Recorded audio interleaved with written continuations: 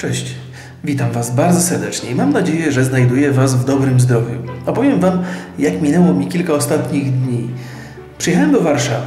I to jest dla mnie no, niezły kawałek. Samochodem z Wrocławia do Warszawy jedzie się około 5-6 godzin. Zależy wszystko od ruchu. Czasami szybciej, jak ktoś mocno naciska pedał gazu, ale można też skończyć z mandatem, co i mi się zdarzyło.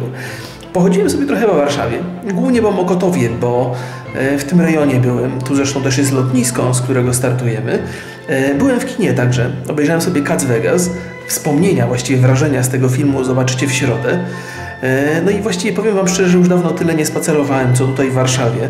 Mm, Chociaż tam z hotelu do kina daleko nie ma, ale dla mnie to i tak jest spacer. Mam dużo wolnego czasu, z którym nie za bardzo wiem, co robić. Mam tutaj tego laptopa, składam sobie na nim materiały, między innymi tego vloga. No ale i tak troszkę się nudzę. Mam zdecydowanie za dużo wolnego czasu. Ale do rzeczy. E, Jak pewnie, być może żeście się już zorientowali, ja podawałem to na Facebooku, ale także na moim blogu. Jadę z Orange Travel na wycieczkę. Pięć państw, pięć miast przez 10 dni. Będę mógł zobaczyć niezły kawałek Europy, miejsca, wiele miejsc, których jeszcze nie byłem. Jakie dokładnie? Też jeszcze nie do końca wiem. Wszystko przed Wami i wszystko przede mną. E, Przyjąłem sobie ambitny plan, żeby codziennie nagrywać coś e, z tych miast, w których się znajdziemy. Mam nadzieję, że mi się to uda.